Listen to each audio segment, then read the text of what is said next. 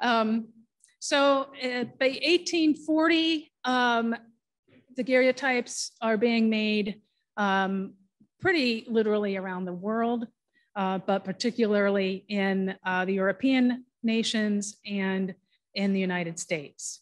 Um, this is the age from 1840 to 1870, that's 30 years, is the age of the hard image. And um, I'll go show you some examples of those. So that's daguerreotypes, ambrotypes, and ferrotypes, or what we call tintypes. Then overlapping with that, starting in 1860 or thereabouts, um, is the age of the paper print. So those are albumen prints and gelatin prints. These are cartes de visite, uh, cabinet cards, and stereo views. So that gives us a time frame uh, what, what we're looking at today, and that's what I'm, I'm um, going to be discussing. Um, Albert Sands Southworth was a pioneer photographer in Massachusetts, and he wrote in 1840, I have succeeded in managing the daguerreotype so as to make a perfect likeness. In a fair day, it requires three minutes sitting, and we positively know that we can have an apparatus that will not require more than 30 seconds. So as I said, a daguerreotype um, is an image on polished silver. And these are some definitions if you would like to make, take note of them, but I'll explain them um, with the next slides. Um, it has a mirror-like image uh, it's fragile and prone to tarnish and thus requires a case to protect it.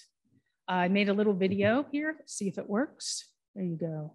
And daguerreotypes are very easy to identify because they're like a mirror and they kind of disappear if you don't hold them at the right angle, sort of like a hologram does.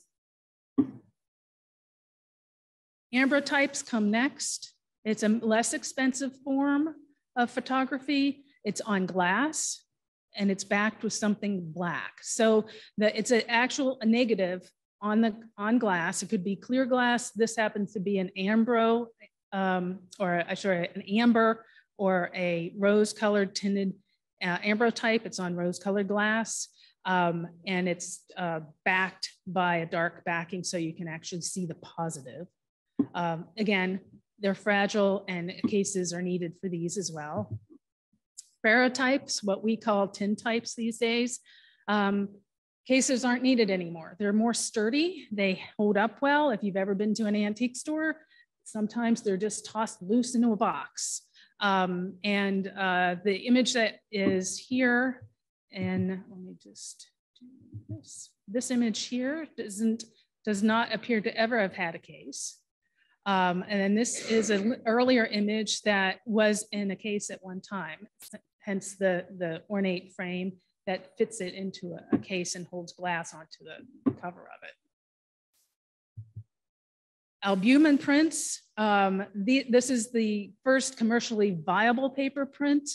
Um, it's invented in France, hence uh, the carte de visite is one of the most popular um, and well-known types of albumen prints. Um, it was created in 1859. Um, they were made and purchased by the half dozen or the dozen. So do we all remember being in school and having your photo taken and you have all of those pictures, those multiple sizes and multiple uh, images of yourself and you traded? That's what the carte de visite started when um, these multiple images of yourself could be had. Um, enlargements and copies enabled more options for display. So uh, this image here um, of Caroline Merriam, Mer Miriam, yeah, um, is a, an albumen print um, mounted to fit into a frame somewhat like this. Um, but it's at this point in our collection, it's, it does not have a frame, but that's why it's oval in shape. And these oval frames are made mass produced um, as in the 1860s as, as the years go by. Uh, gelatin prints um, are take us to the end of the 19th century um, and they move into the early 20th century. These are widely available. The paper is coated or with a um, gelatin as the albumen paper is coated with egg white and, um, and then sensitized. And this is when you start finding more and more amateur photography happening. Uh, people can have um, their own uh, cameras. They send the plates away to be developed and they get images back. So um, now you're finding more candid pictures um, coming up, propping, uh, popping up if you're ever looking through, um, again, antique shops, eBay, you'll find more candid shots, more relaxed as, as you see here, um, into the uh, late 19th century and into the 20th century. Um, so let's just talk a little bit about the abilities and limitations of early photography. Um, there are a lot of uh, myths and misunderstandings uh, related to early photography I'd like to address um, before we move on. Um, this example is, um, it's a carte de visite camera. So if you wondered how they would make dozens of photographs at one time, they were taking, this camera is able to take four pictures of this, uh, at the same time at slightly different angles. Um, natural light was a prerequisite. Um, studios needed natural light. There weren't flash bulbs or any kinds of flash uh, abilities until a late, very late 19th century. So all of those old movies that you see people getting their pictures taken and the photographers holding up the little uh, T-shaped thing and it goes poof like that, that is uh, something that happens later, uh, very late 19th century, early 20th century. So basically a photographer's studio often is at the top of a building um, if, if you're in a city. So um, sometimes if you see um, pictures of cities, uh, streetscapes, if you see big skylights, you can, if the sign isn't already evident on the outside of the building, you can, you can probably be fairly accurate in guessing that's a photographer's studio. Um, this image is a French image, but it, it shows you all of the details. this is why I like it. Here is the skylight so it had to be quite large. All of this, this fireplace setup, the mirror, here's a balustrade and a backdrop. All of this is fake. Um, there's a, a, a, floor cloth, so you could um, pretend you're walking outside on the, the piazza. Um, here you see the photographer's um, head support. There's another head support here. Um, head supports were required because of the long exposure times um, and because uh, photo photography at the time couldn't capture movement. They couldn't freeze movement. So if something moved, it was going to be blurred, just like this little baby is in this picture. Um, so that was also a limitation. You're not going to find any action shots. Um, that comes much later. Another thing that a lot of messes up a lot of people, and I see some people um, describe images of people uh, in photographs as being in mourning because all of their clothes are dark, uh, but that's related more to how the color is translated in the photographic process. And I found this is a very um, helpful illustration um, so the middle is a regular color photograph of different pieces of fabric. Um, and I think what's, what popped out me to me at first is what the, the fabric, the, the pieces are laying on is light blue. But if you look at the top, um, and this is using the technology that was used for ambrotypes, tintypes, and, and uh, cartes de visite, that blue is now sort of light gray. But if you look down here at the yellow and you go back up here, that yellow is black. The red is black. Um, you go down here in modern black and white and you kind of get an idea of that. That's why modern black and white photos don't look old is because they're not translating the colors the same way as the actual old processes um, did. This also affects hair and skin tone in, in photographs. Uh, I've seen it happen. If you have a ruddy complexion and you're sitting for a photo, you look very, very tan. So, um, and there were um, ad, uh, advice given from photographers to sitters with people who have blonde hair, for example, is to make the blonde hair white, powder the blonde hair so it reads blonde and doesn't read black, um, so that you get a more realistic image of the individual. So uh, in photographic portraiture, and this is what most photographs were at the time, they were um, by and large of people. You do find images of cityscapes, you find images of bridges, the Niagara Falls, but by and large, if you took all of the photos taken in the 19th century in like 60 some years, most of them are going to be portraits. And those are the images that find their ways into people's homes. Um, the very early images, and I'm saying the ones created in the 1830s, 1839, 1840, 1841, because of that long exposure time, and I'm like three minutes, a lot of still lifes were being created. It's the experimental experimentation time. So they took pictures of things that didn't move inherently um, until they had their technique.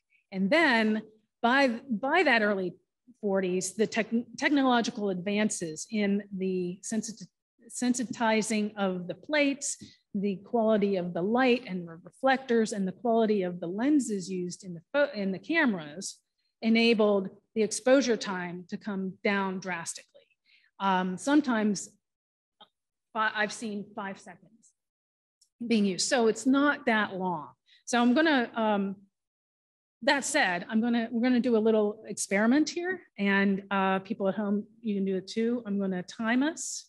So, so most of the time in the 1840s, let me just get my thing up here. They said uh, 20 seconds to 40 seconds. So everyone, let's pretend we're getting our picture taken. Pose yourself, whichever way you want to pose. And we're going to hold it for 20 seconds. Don't move or it's going to be blurred, right?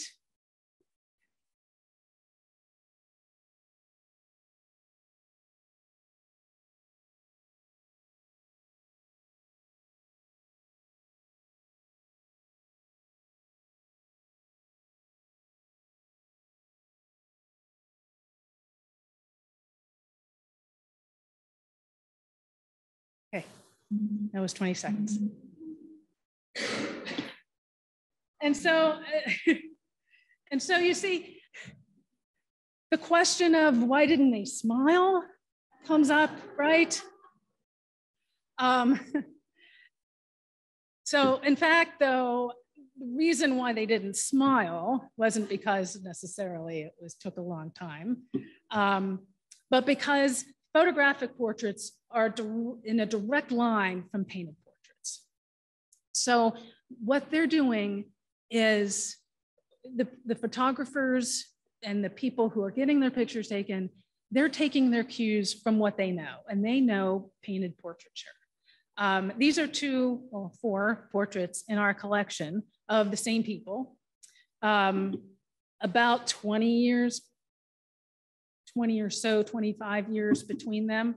Um, Cyrus and Emmeline Wait Underwood. So um, for one thing, you can kind of see how an artist interprets an individual compared to what a photograph does. Um, current scholarship, well, I, I, should, well, I'll say this. Current scholarship now believes that photography did not endanger the portrait painter's livelihood. Um, there was some assumptions um, in the past, like, well, of course they did, because people just get, get the picture taken. But that's not actually the case. Um, in fact, in the late 19th century, there was a resurgence in pa painted portraits amongst, again, the wealthy, but um, probably having more to do with the fact that everybody get the, can get their picture taken, right? It's common let me get a portrait painted because that elevates me that much more. Um, Samuel F.B. Morse most probably well known to, to most people by the invention of the telegraph. But before that, he was a portrait painter and, and he actually was one of the first proponents of photography, introducing photography in the US. So he was very excited about it um, because it, it, would, he saw it as an aid to his painting work. He could take a picture of somebody and then refer back to it, like many um, artists today do as well. So um,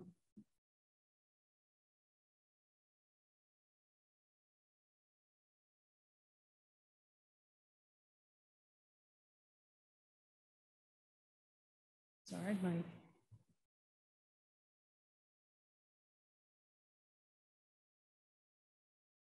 is not allowing me to advance my slide. Okay, there we go. Um, so another portrait convention that you see a lot in photographs um, well into the 19th century, into the late 19th century, are the use of props.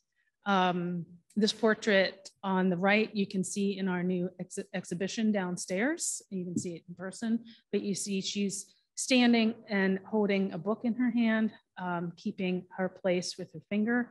Um, this image by Southworth and Hawes um, that I've taken um, from a, a book um, in my likeness taken by Joan Severa.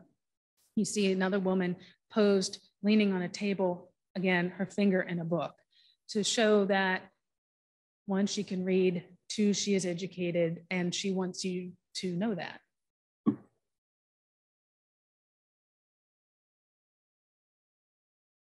Um, another example of art, artistic portraiture. Um, again, this painting on the left is in our collection. It's a Girl in a Window by Harriet Cany Peale. Um, it's a copy, or I shouldn't say a copy note, an interpretation of um, an early um, painting by Rembrandt in the 1600s. Um, this was made in the, in the mid 19th century. And again, the child, the girl in the window, again appears in a, a carte de visite uh, around 1870.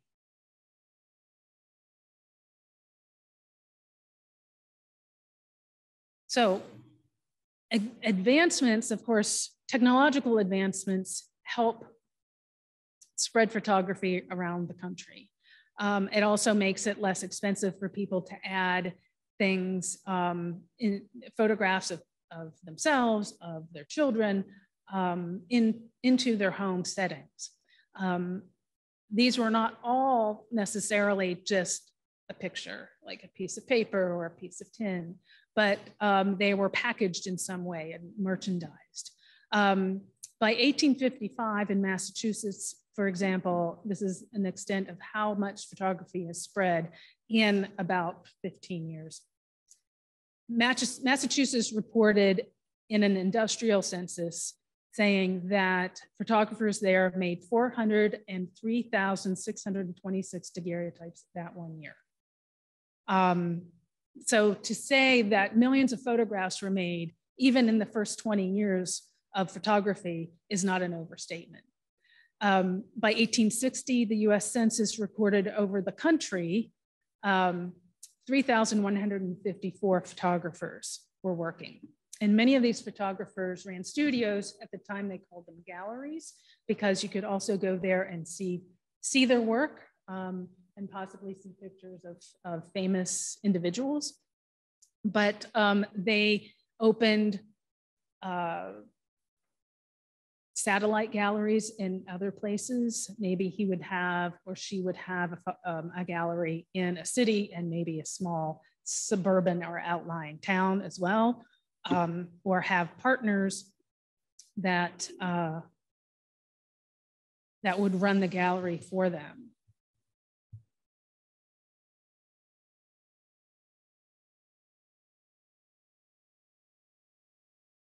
got my cursor back. Um, some photographers took their skills on the road.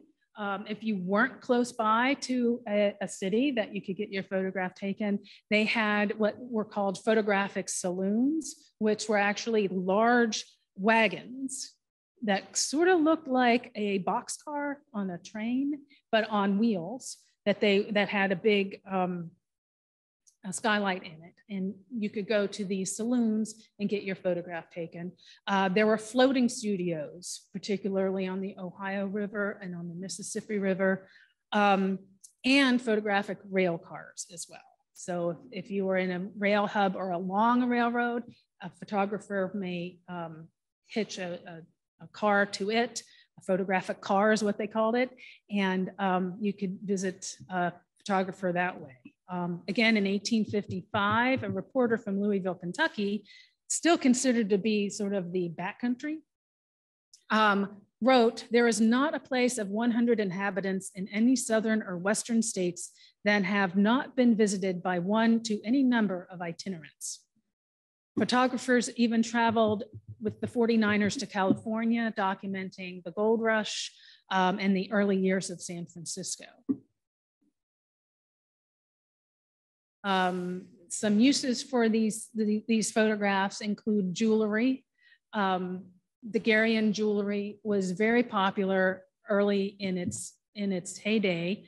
Um, this is a locket in the DAR collection. And as you can see by the reference quarter, um, that is, it's very small. They made, um, there were even smaller lockets. Um, I have seen one that is about the size of an M&M for reference. Or a Skittle if you prefer fruit flavors. Um, and uh, so these lockets, they're sometimes called watch lockets. They were mass produced in England and imported here, already engraved with a design, but usually there's a cartouche that you could put um, initials in or perhaps a little um, uh, personalized engraving. Um, again, photographic jewelry. Here's an elaborate bracelet with a daguerreotype in under a cover. So the cover would close and no one would see it. And if you wanted to show someone, you could open it up. As um, the technology changed, so did some of the jewelry. The, the brooch here that you see is about, it's about quarter sized as well. And uh, dates around 1870 of a little girl. It's, it's of a, um, uh, albumen, so it's a paper, piece of paper photograph. So much easier to cut out uh, than a metal um, piece of metal or um, a piece of glass, most certainly. So um, but, uh, the jewelry changed as the photography changed. So we go to stereo views. I think we're all familiar with the stereo view in that we, you hold the, or you, the viewfinder for one, if you're of that age. Uh, but the, I think almost every history museum probably has one of the basic stereo views that you, viewers that you hold and you put the paper um, or cardstock um, image and you look through it and you get a 3D effect. Well, stereo views started almost instantaneously after photography gets established. Um, what you see pictured in this advertisement is um, Southworth, Southworth and Hawes in Boston built a grand parlor and gallery stereoscope. Um, incredibly, this still survives in the Museum of, of the George Eastman House, the Eastman Museum in Rochester, New York. Um, it held 12 pairs of daguerreotypes, stereo daguerreotypes, that you could view by turning a crank. Um, and they charge 25 cents admission to, to see these amazing views. Or if you wanted a season pass, it was 50 cents. And yes, you had a season pass. Nothing's new, nothing's new. Um, but it, it's novelty, right? And, um, and it offered, as we will see, an opportunity for people to vicariously visit far off places.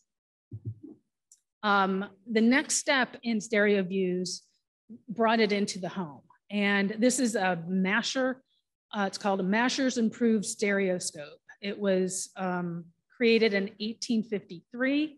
And this is an effort uh, by a man, I, his last name I'm blanking, or first name is I'm blanking on, but he was a Philadelphia watchmaker um, who created this type of case to put the daguerreotypes in so that it acted like a stereo viewer. um, that you could look at and get a three-dimensional image of your loved one um, or whatever, what have you of the of that's pictured in the in the case. Um, and then of course the stereo cards are what we're all used to.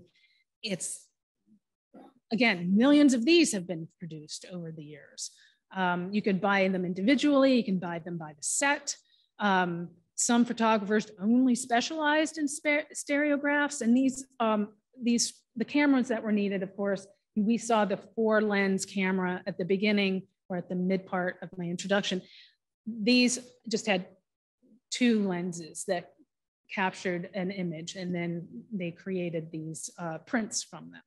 Um, so people could visit Niagara Falls without even leaving their home. People could see the the far off lands that are being were being settled in the west. This um, the top stereo view dates to 1873. So amazing uh, views for people who may not ever get too far from their homes, but they could investigate um, other locales. Uh, frames, I kind of touched on this earlier. Once we get uh, larger prints, we can have frames um, the frame on the right is in our collection. It's actually an ambrotype, so it's a picture on glass. Um, but the frame itself is thermoplastic. Some people, um, you might read, call it gutta percha, but those are two different materials. Um, if you're, you've been to the dentist and you've had a root canal, they put gutta percha in your tooth. Um, it's a, a, natural substance. Um, it was also used for, it kind of looks this way sometimes in different purposes, they would use gutta percha for um, pistol grips. Uh, but this is thermoplastic and thermoplastic is just, it's a mixture of um, sawdust and um, shellac that is plastic or malleable when hot. And then they would put them into um, a mold and pop them out. Um, and so these thermoplastic frames could be much more mass produced um, and could hold these smaller images. Um, then once images got the ability to be larger, these uh, wooden frames that you see on the, on the left here, and yeah, um, these were also mass produced in, in small manufactories. There are quite a lot of them up through New England that created these oval um, frames. Some were also square, but there were a lot of oval frames for these um, uh, albumen images. Um, again, cases, these are cases for um, the hard images. Um, this is thermoplastic. This is a covering of embossed, either embossed leather or embossed paper over wood. And um, then the image would go on the inside and it would close up like a book. Speaking of books, then we have photo albums. Photo albums got hugely popular in 1860. As you may remember when I mentioned uh, cartes de visite came into being around 1859. A year later, you had to have somewhere to put all of them. So photo albums were created. These days, we don't have physical photo albums hardly anymore, but this was the beginning of them. And uh, you can see how the photos were to be arranged in the, in the albums. Um, a writer at the time in the 1860s wrote, photographic collections are found on almost every center table, meaning center table of the parlor, a very public place. And each one is both the portrait of those who are placed therein and of the one who composed it. Because uh, photo albums not only contained your family, they contained your friends, they contained photographs, copy photographs of famous people, actresses, politicians, um, uh, at, during the Civil War, army uh, generals and colonels and soldiers. So there were a lot of uh, ways to create a photo album to be very, very personal. Um, so as we, as I've talked about the photo album, that is really the first foray into the public sphere that you see uh, a lot of personal portraiture in photography. Um, another one is mourning photography. And there's a lot of, I don't know if any of you keep track of or follow uh, um, social media uh, discussions of, of mourning photography or post-mortem photography. There is all of a sudden, there seems to be a huge misunderstanding on what it was and how it was done. So I just want to talk a little bit about that. Uh, here's an advertisement from 1864 of a photographer in New Hampshire saying, calls attended to with 10, within 10 or 15 miles for photographs or ambrotypes of sick or deceased persons. Um, one thing to remember, the 19th century and even before, death was not unusual. Um, what was seems to be a lifeline, so to speak, to the people who survived was to have an image of the deceased. There may be no other images of that person ever but this image. So it was important to those people to have this image. Today, we see it more, I think, of a morbid um, custom. At the time, that was not the case. But that said, the, the photography community, the photographer, the, the, the publications that wrote or that photographers read, so there were trade publications, they were offering advice on how to take these photographs because uh, they were not trained in dealing with dead people. Um, so in 1877, a photographer from Illinois named Charlie Orr wrote to the Philadelphia Photographer magazine quote, place the body on a lounge or sofa, have the friends dress the head and shoulders as near as in life as possible. Roll the lounge or sofa to a bright corner because you're in their home and you don't have the skylight, right? Um, use a bolster to prop up the shoulders and position the camera at the end of the sofa. Other photographers said, no, don't do that. Take the photo from the side, not front on. So there was all this discussion. Um, again, we hear from um, Albert Southworth of Southworth and Hawes in 1847. His advertisement said, our arrangements are such that we make miniatures of children and adults instantly and of deceased persons either in our rooms or at private residences. We take great pains to have miniatures of deceased persons agreeable and satisfactory and they are often so natural as to seem, seem even to artists, in a deep sleep. They weren't intending for people to look alive in the photographs. They wanted, they knew they were dead. The people knew they were dead. That was fine with them. Current um, perceptions and, and kind of rumors and legends are being told that, that people, that bodies were propped up to get their pictures taken and that they were, oh, this is a dead person because they look weird. And that's not the case at all. Um, if you've ever watched uh, Weekend at Bernie's, you know how difficult it is to make a dead person look like it's real. Um, so this is a, one picture from our collection that is a post-mortem um, of Helen Jerusha Kingsley Hitchcock. She died February 18, 1856. So this angle is a bit from the front angled. It seems the, the first photographer's advice was kind of followed. Again, you know, lighting is difficult because often it is in someone's home because that's where funerals are being held. So um, this was popular well into the 20th century, depending on what um, communities you're from. Many immigrant communities uh, continued this process or custom well into the 20th century. But uh, at the same time, these mourning or memorial cards were also created. Um, these were mass printed cards that a photographer could have on hand um, and then have um, a local printer uh, personalize it and then insert a photograph um, so that it could be passed out to loved ones and friends. Um, documentary photographs were taken and displayed. Um, the ones shown here illustrate uh, ownership of a hotel in Schoharie County, New York.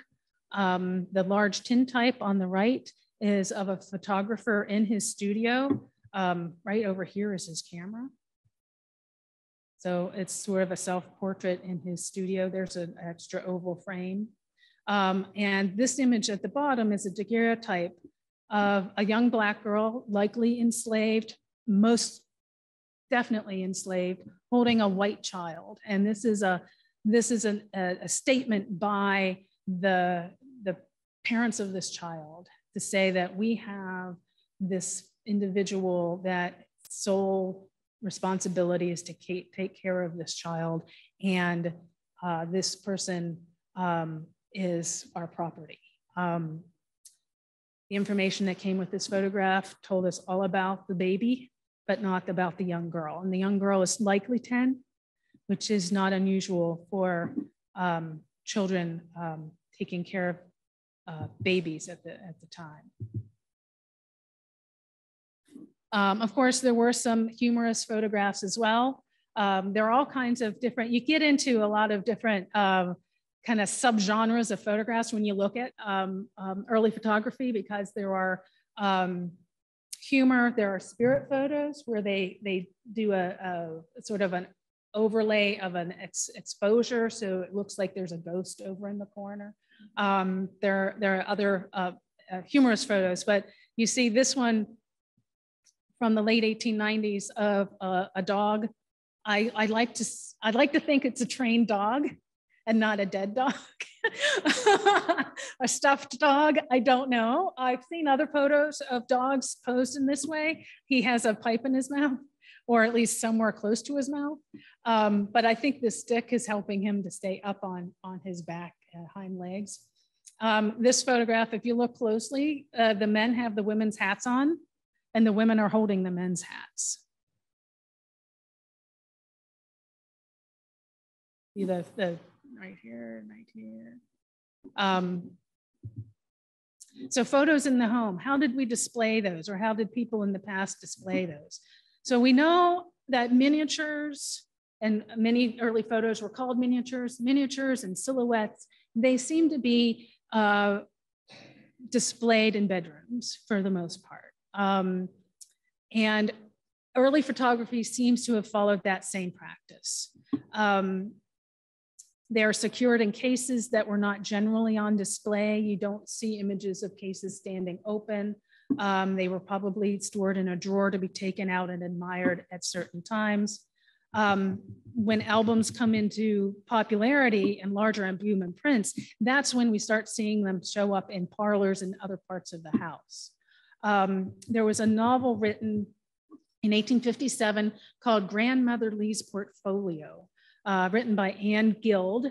And uh, in it, there is a series of letters uh, between Grandmother Lee and her granddaughter, Amy. And it shows us sort of a bit about how uh, photographs were taken and how they were treated. And I'm going to pull out just a little bit of, of that exchange. Um, she, Amy describes going to the photographic studio, getting her picture taken, um, how it took three times before her sister Mabel's photograph was, was good enough to her mother's liking um, and that those photographs were put into oval velvet cases. And I know exactly what the case they're talking about because um, I have seen them. They have different uh, velvet covers, um, green and, and red and blue. And grandmother replies, um, after she received these images they sent to her. Why, Amy, it seemed as if Mabel and you were right before me. You seem so natural and lifelike. I'm so happy. I keep them where I can look at them all the time with the cases open, that your bright faces may be looking upon me constantly. And at night, when I go to bed, I stand them open on the table beside of me. There they may be the first things I shall see as I open my eyes in the morning. Um, this is a, a, part of a stereo view of an interior of a study. Um, it's titled um, Study with a Dog um, let me turn on my little laser pointer again. So uh, this is what they're calling a dog. Um, it's a wolf, and I think it's stuffed.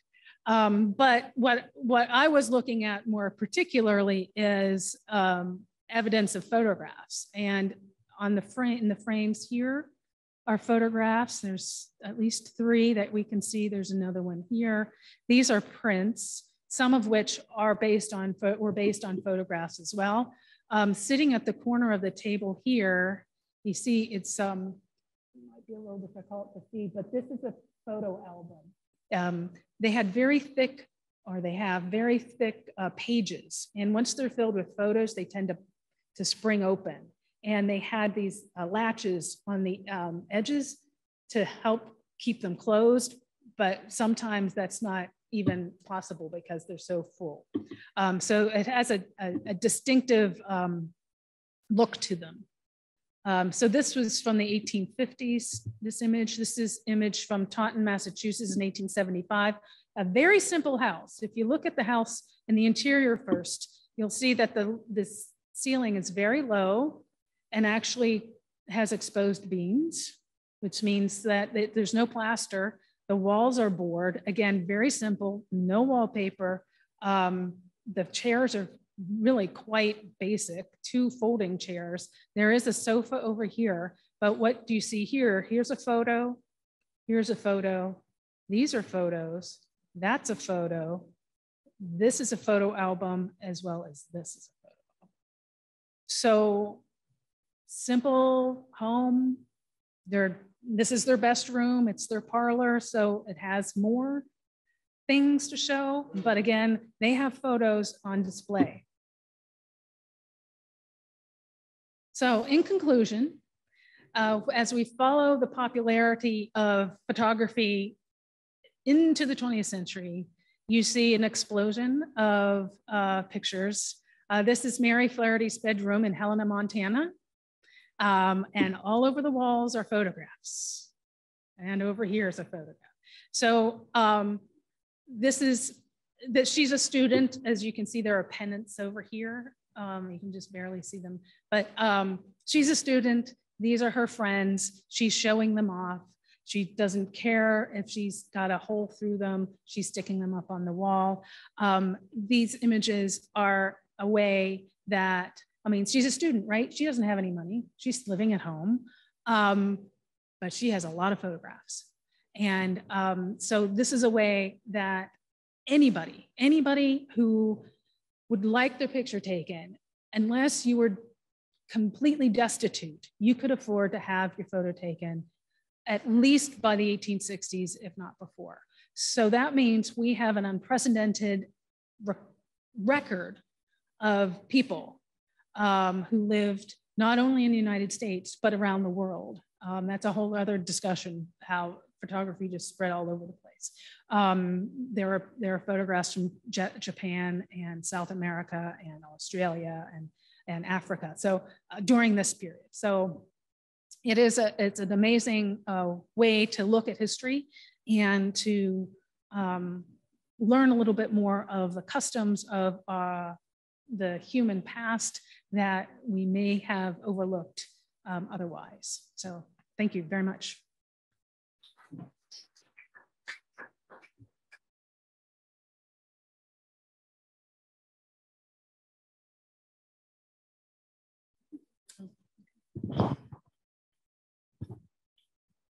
We have a couple questions from online. Uh, the first question is, can damage to tintype photos be repaired? Oh, I'm not, I'm not a, con a conservator. Um, I guess it would depend on what kind of damage it is. Tintypes are prone to rust is the, the kind of, because it's iron, uh, it's prone to rust. I don't know what kind of damage. If it's, um, some people, what they've done is scan the tintype and then Photoshop the repair, but I've not seen that there, there is a way to com conscientiously repair it. Next question is I've seen lots of photos from the early 1900s of friends slash family where they were cut out of a picture, uh, parentheses, absent background, and put that in an album. How did this become a popular method of preserving a photo cutout? That's interesting. Uh, I'm thinking what the question is, is that they cut the people out and took the background away and put it in an album. Um, actually, that custom starts around the time ambrotypes come along. There's a type of photograph called a relievo ambrotype, where a photo is taken, ambrotype made, and what that image is is an emulsion. It's it's it's physical. It's on the glass, and so the photographer scrapes the background away. And uh, when it's put into a case, it tends to look a little bit three dimensional. Um, sometimes they'll put fancy backings, uh, like um, some I've seen like a glitter coated background. It's pretty woo woo, uh, but uh, but those are kind of rare. But I think that's sort of the same thing. It's just a way. It's it's like an early Photoshop. It's a way to like here are the people, but I'm putting them over here. Yeah. All right. The double exposure ghost uh, was not always a joke. For example, Mary Lincoln was misled by a photographer who showed her a ghost image of her deceased husband.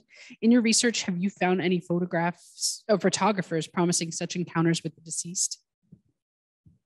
That's a that's a good question. I have not seen an evident like crossover between spiritualism and photography. There are, it's called spirit photography, and there are people saying, you know, I'm, I'm doing spirit photographs. I think most people believed that they weren't real. Um, of course, you you choose vulnerable people if if you're going to try and get something over on on an individual. That's unfortunate. I've not seen um, evidence of others actually saying that they can commune with the dead. Spiritualism was a huge thing starting around 1840s um, in the 19th century, seances and, and trying to talk to the dead. Again, because mortality was right there next to you, um, uh, so more so than, than today. So that was a way that people were trying to, to, to talk to loved ones last question from online. Will you do a talk on street photography at some point? I am particularly curious about the 1940s or so when photographers would do candid shots of random people on the streets shopping. Oh, wow. Yeah, I love street photography. It's, it's really fun.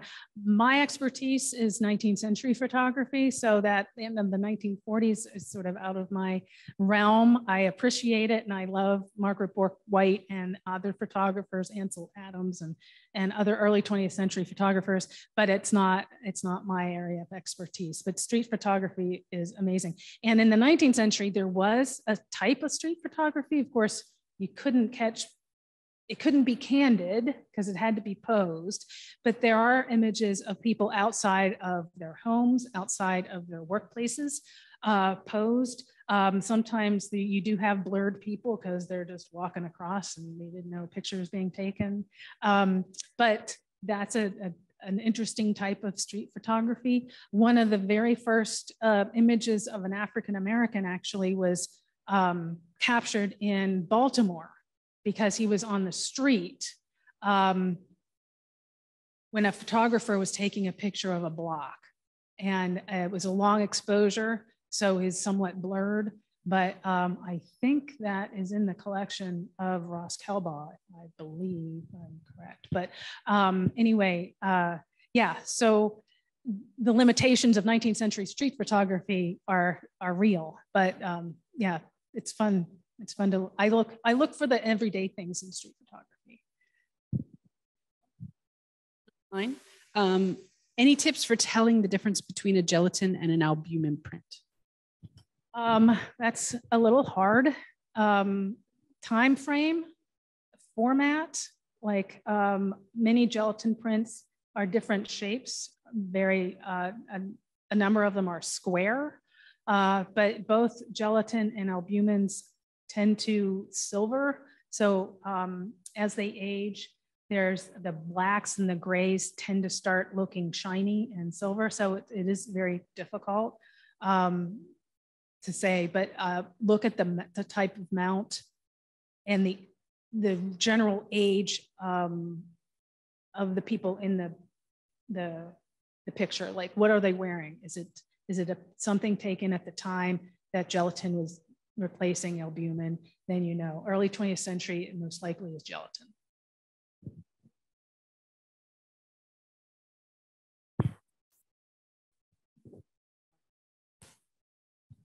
During this period, I was curious, was there uh, color photography possible or did that have to come later?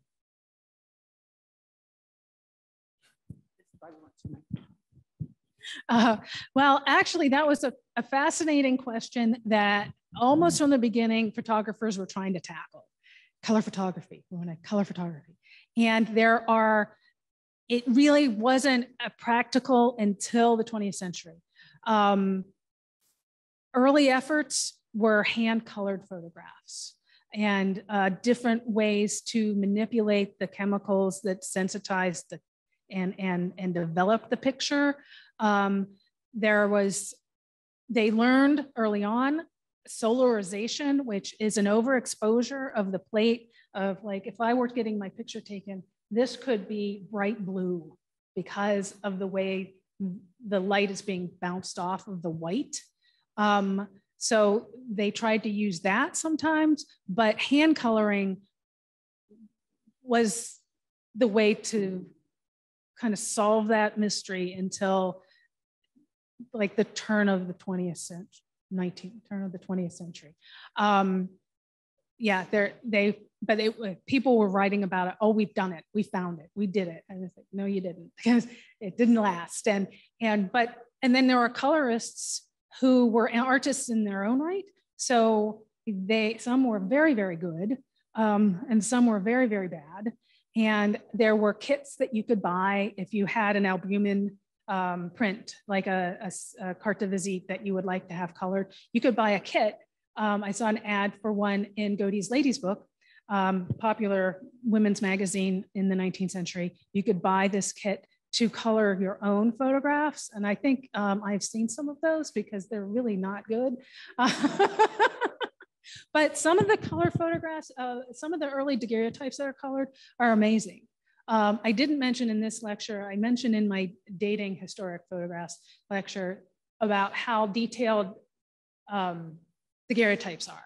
They are so clear um, and you could count hairs on people's heads. You can, it's, they, as the technology progressed and got more faster and, and, and more widespread, the quality went down.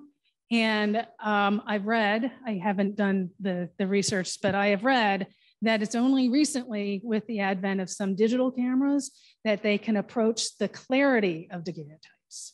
So it's a case of old isn't necessarily inferior. So that's a long answer to your